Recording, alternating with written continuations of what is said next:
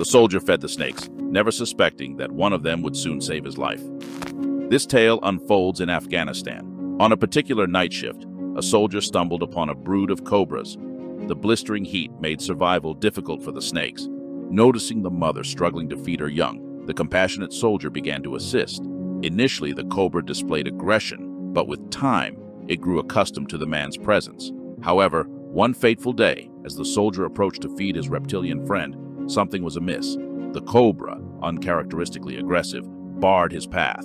Heeding the snake's warning, the soldier remained stationary until dawn, only to watch the snake finally slither away.